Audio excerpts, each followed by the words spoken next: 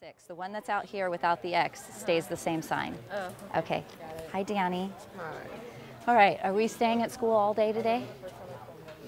Okay, good. Um, what's the vertex?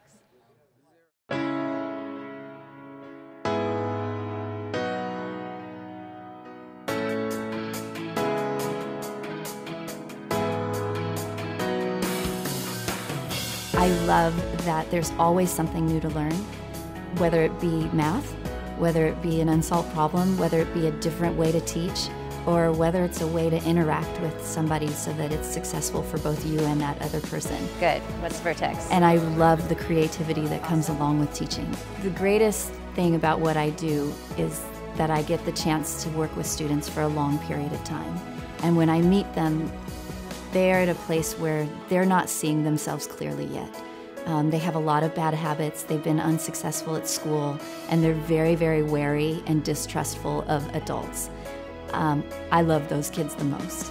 They come into my classroom, they come into our program, and we work over the habits, we work over the attitudes, and really just show them kindness and what it means to be respectful and honest and um, both from the adult and from the student. And they thrive in that. I watch them leave high school graduating with that diploma in hand, knowing that they have a better life than what they thought they were going to have three years before. I think the first thing I hear most from students is that I explain math really well, that I really break it down and I really try to make sure that everyone understands where this is coming from and that math isn't just some mysterious thing that's coming out of nowhere. That there's really a reason and there's a starting point from where math begins. Besides really trying to explain everything, I really try to make it accessible to the students. And I think they really love that. I think they love that I'm trying to give them a reason for learning it. Um, I think they also like that I'm trying to just make it fun and let them have a moment to see the beauty of mathematics and to see where it exists in all of the world.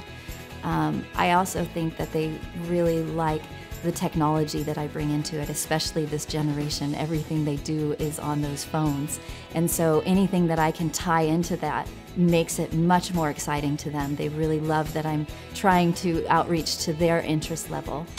I am really eager to get to know my students, and I work really hard at making sure that they feel important every day.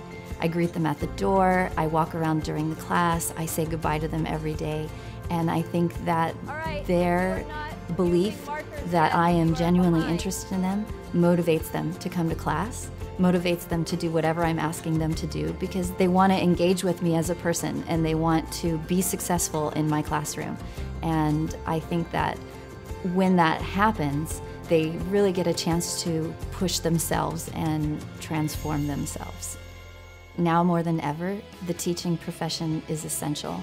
I think as technology is developed, more and more people, you hear it all the time thinking, well, kids are going to go to school online and kids are going to learn online and all the answers are there. And I think that's true. There are so many parts of it that are going to be wonderful. But kids need context and they need understanding and they need a chance to be motivated and inspired. And a computer is not going to do that. A teacher is going to do that.